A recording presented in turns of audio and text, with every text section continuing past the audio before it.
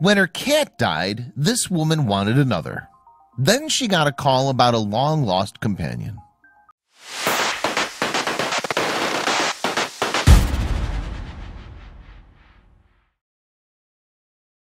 When Jennifer Lee Thompson's cat died, her home just didn't feel the same. And as a result, she started pestering her husband for a new pet. However, all plans to adopt another feline were put on hold when Thompson got a phone call that may have left her reeling. Thompson herself lives in the city of Longmont in Colorado with her children and her husband, and she and her kids were all cat lovers. In fact, they'd often shared their home with feline friends over the years. Pilot was one such companion, joining the family in 2004. Three years after Pilot's adoption, though, he went missing from the Thompsons' home, perhaps never to be seen again. And this type of behavior, it seemed, was rather unusual for the cat. Indeed, Thompson would tell the Sacramento Bee in 2017, Pilot was not a cat to wander far from home, so it was shocking when he didn't come home one evening. And naturally, the Thompsons had gone on a hunt for their missing pet. Nevertheless, the cat owner continued, We checked the shelters for months with no success. It was a pretty sad time for us. And Thompson would further describe Pilot on a GoFundMe page, explaining, he was an indoor-outdoor cat that always came home every evening like clockwork. She added he was microchipped and was wearing a collar with a tag the day he never came home. Thompson further revealed that Pilot was a very special cat who loved my kids, loved to play in water, and followed us around like a dog. His disappearance was extremely traumatizing. In 2010, though, the family moved to Colorado without Pilot ever having been found. Then in 2017, Thompson lost another one of her beloved cats, this time to cancer. And the death of her pet understandably left her feeling as though there was a gap in her home that needed to be filled. First, though, she'd have to convince her husband that adopting another animal was a good idea. Meanwhile, in October of the same year, the Tubbs fire broke out in Northern California.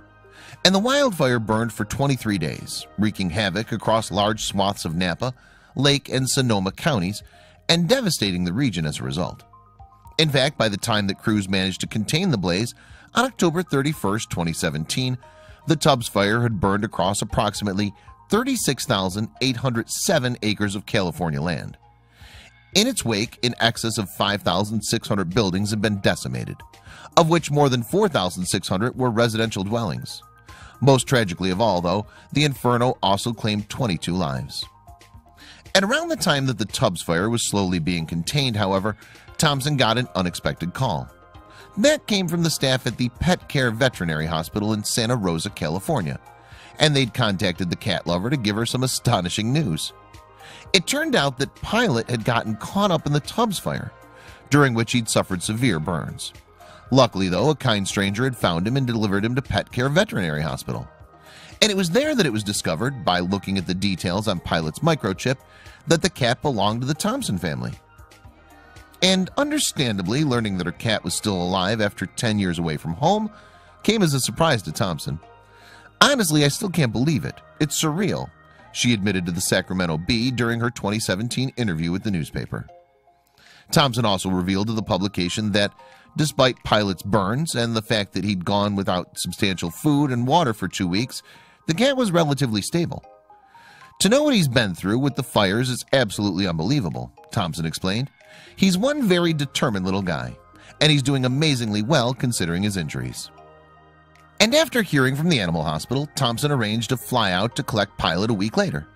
In the meantime, though, he would need expensive veterinary treatment. So, to help her pay for her cat's medical assistance, Thompson set up a crowdfunding campaign on GoFundMe. In particular, she hoped to raise $3,000 to ensure that her beloved pet recovered from his awful ordeal as quickly as possible.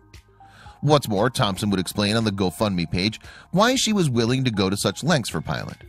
She wrote, I can't express how excited I am to see his face. I'm really looking forward to being able to bring him back into our family.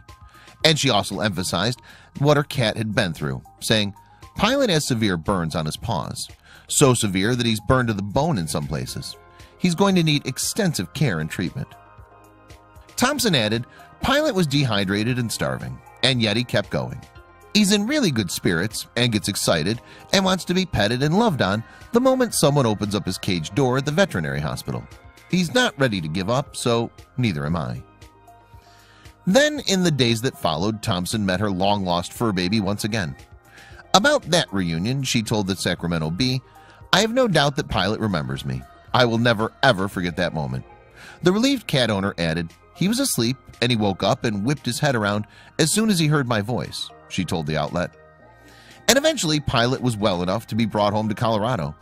When there moreover he spotted someone whom he still seemed to be able to identify even though he hadn't seen her in a decade. In a December 2017 interview with the Times Call Thompson explained when I brought him back he definitely recognized my daughter. Definitely right away. He went and cuddled up with her. I had no doubt. It's like okay he knows my kid and unsurprisingly Thompson was over the moon with what had transpired. That's plain from what the cat owner told the Sacramento Bee. Indeed she revealed we're so happy to have pilot back. She added he's just as sweet as he always was and he doesn't leave my side at night. It's truly a miracle. So with her cat back at home Thompson finally feels like her family's complete. I've been telling my husband for months that we have a vacancy in our house she added to the Sacramento Bee and I couldn't be happier that pilot was filling it